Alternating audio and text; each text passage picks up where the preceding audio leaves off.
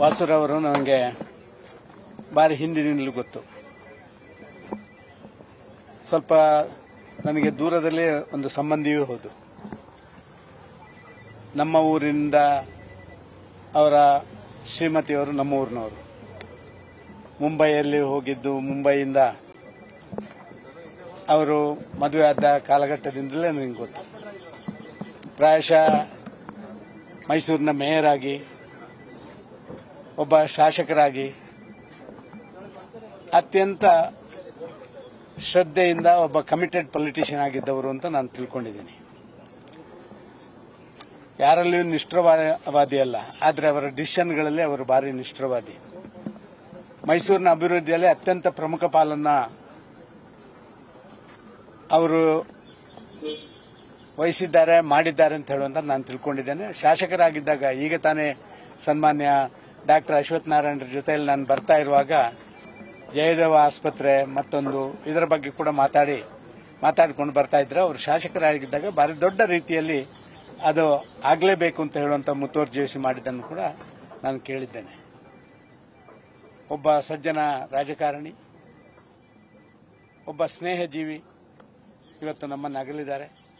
ಅವರ ಆತ್ಮಕ್ಕೆ ಆ ದೇವರು ಶಾಂತಿಯನ್ನು ಕೊಡಲಿ, ಅವರ ಕುಟುಂಬಸ್ಥರಿಗೆ ಆ ದುಃಖವನ್ನು ಭರಿಸುವಂತ ಶಕ್ತಿಯನ್ನು ಕೊಡಲಿ ಅಂತ ದೇವರಲ್ಲಿ ಪ್ರಾರ್ಥನೆ ಮಾಡ್ತೇವೆ. ವಾಸುರವರು ನನಗೆ ಭಾರಿ ಹಿಂದಿನಿಂದಲೂ ಗೊತ್ತು.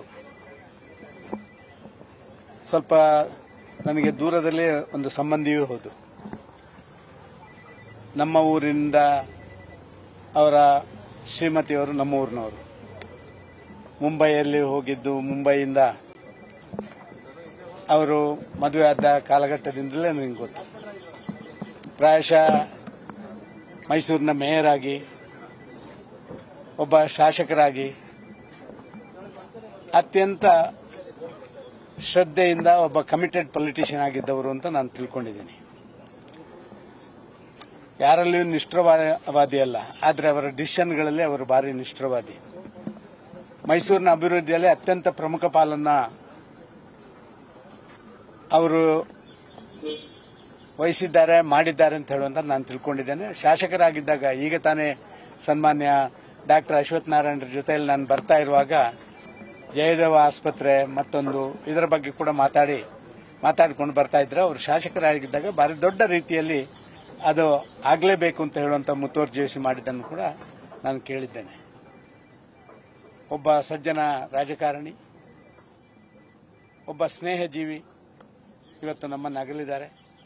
ಅವರ ಆತ್ಮಕ್ಕೆ ಆ ದೇವರು ಶಾಂತಿಯನ್ನು ಕೊಡಲಿ, ಅವರ ಕುಟುಂಬಸ್ಥರಿಗೆ ಆ ದುಃಖವನ್ನು ಭರಿಸುವಂತ ಶಕ್ತಿಯನ್ನು ಕೊಡಲಿ ಅಂತ ಆ ದೇವರಲ್ಲಿ ಪ್ರಾರ್ಥನೆ ಮಾಡ್ತೀವಿ. ಅನುಕ್ಷಣದ ಸುದ್ದಿಗಳಿಗಾಗಿ Vistara news YouTube channel subscribe ಮಾಡಿ. ಹೊಸ ಸುದ್ದಿಗಳ ನೋಟಿಫಿಕೇಶನ್ಗಾಗಿ ಬೆಲ್ ಐಕಾನ್ ಕ್ಲಿಕ್ ಮಾಡಿ. Latest ಅಪ್ಡೇಟ್ಸ್ಗಾಗಿ W W W dot Vistara news dot com ವೆಬ್ಸೈಟ್ಗೆ ವಿಸಿಟ್ ಮಾಡಿ.